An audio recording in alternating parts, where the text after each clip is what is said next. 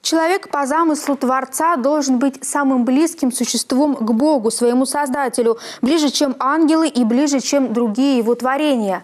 Об этом напомнил своей пастве митрополит Челябинский и Миасский Григорий. В праздник Вознесения Господня владыка совершил божественную литургию в Эдигиторевском женском монастыре. Рассказ о событии от наших коллег из Челябинской епархии. За литургией молились сестры обители во главе с игуменей Евсевией Лобановой.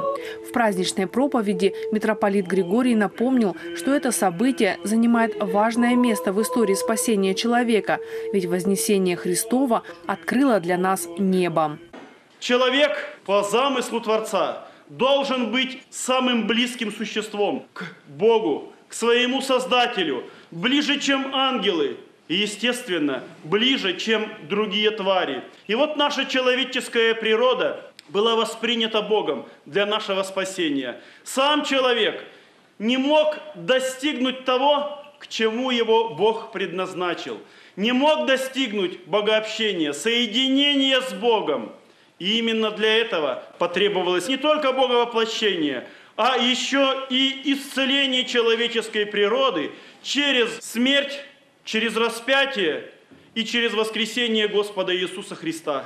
Человеческая природа была восстановлена в нашем Спасителе. И эта самая человеческая природа была вознесена туда, где изначально Богом предназначена была находиться – до революции праздник Вознесения Господня был для Адигитриевского женского монастыря престольным.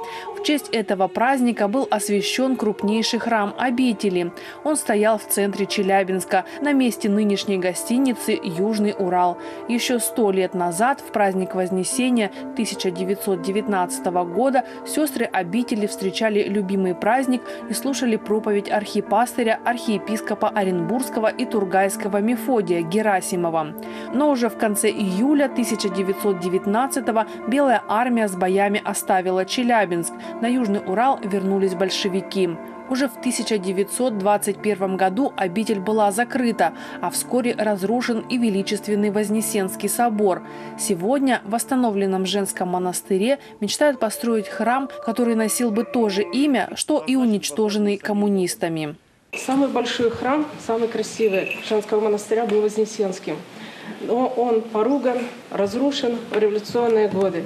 И мы верим, что Господь вашими святыми молитвами поможет возродить обитель свою в былой славе. Планы сестер нашли поддержку архипастыря. Митрополит Григорий дал благословение в сотрудничестве с известным уральским архитектором Константином Ефремовым разрабатывать документы, необходимые для начала строительства. Дореволюционная обитель славилась своей благотворительностью. Сегодня в восстановленном Адигитриевском монастыре возрождаются и традиции милосердия. При монастыре действительно действует очень много таких вот групп добровольцев. А в первую очередь это спас-консультирование, социальная служба, которая ведет работу, направленную против абортов. То есть они ведут консультации прямо непосредственно в женских консультациях, абортариях. Слава тебе, Господи, получается и результат утешительный. А, в прошлом году удалось вот так спасти 70 детишек от смерти.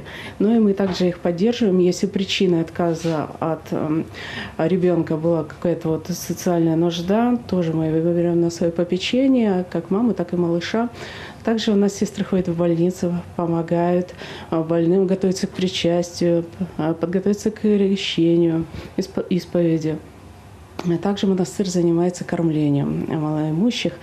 Но, конечно, многодетные семьи нуждаются в поддержке. Они находятся на постоянном попечении, около 40 семей вот так вот у нас находится. Праздничное архиерейское богослужение завершилось крестным ходом вокруг храма.